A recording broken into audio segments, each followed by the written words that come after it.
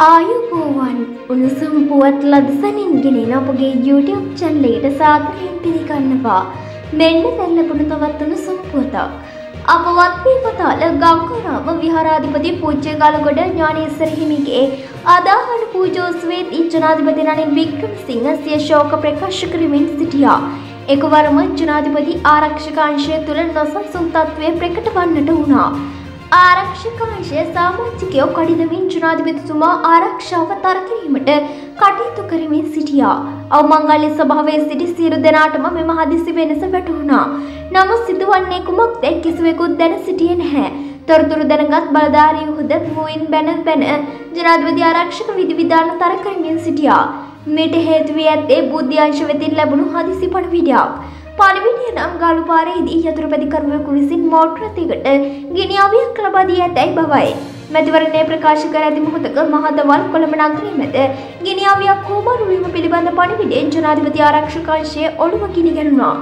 ඇමරිකාවේ ජනාධිපති අපේක්ෂක Donald Trump ඉලක්ක කරගෙන එල්ල කළ වෙඩි ප්‍රහාරයේ අත්දැකීම් ඇති ආරක්ෂක අංශවල අවධානය එකවරම යොමු වී ඇත්තේ ගංගාරාමයේ පැවැත්වෙන විවෘත වැඩසටහන අතරතුර ජනාධිපතිවරයා ඉලක්ක කරගෙන කිසියම් අපරාධයක් කිරීමේ සැලසුමක් ක්‍රියාත්මක වනවාද යන්න පිළිබඳවයි.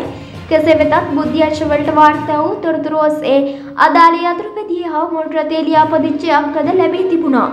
කඩිනමින් ක්‍රියාත්මක වූ අපරාධ පරීක්ෂණ දෙපාර්තමේන්තුව මෙන්ම ත්‍රස්ත විමර්ශනාංකද ඒකකෙද අංක දහඩු තොරතුරු ඔස්සේ අදාළ වාහනේ කාකේට සොයා බැලීමක් කළා. එහිදී අනාවරණය වූ තොරතුරු බලධාරීන්ගේ අරුකුරුවල් කිරීමට සමත් වුණා. අදාළ යතුරුපැදිය ආරක්ෂකංශයට සම්බන්ධ ප්‍රබලයෙකුගේ නමට ලියාපදිංචි කර තිබුණු අතර මෝටරතය ප්‍රබල දේශපාලඥයෙකුගේ බිරිඳගේ නමට ලියාපදිංචි කර තිබෙනවා.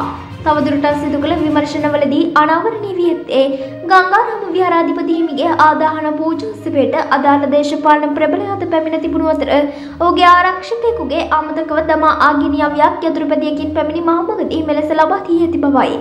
ගිනි අවිය ගෙන විදීමේ වරදක් නැතත් එය ලවාදීම අනුගමනය කළ ක්‍රියාපිළිවෙත් අවධිමත් බව නිසා නිකරුණේ පිරිසකගේ ලේ පිච්චුණු බව නම් කිව යුතුයයි තොරතුරු පැවසූ ආරංචි මාර්ග වැඩිදුරටත් සඳහන් කර සිටියා. මෙවැනි උණුසුම් පුවත් ලදසනින් දැන ගැනීම සඳහා මගේ YouTube චැනලය සබස්ක්‍රයිබ් කර බෙල් අයිකනය ක්‍රියාත්මක කරන්න. ඔබට සුබ දවසක්.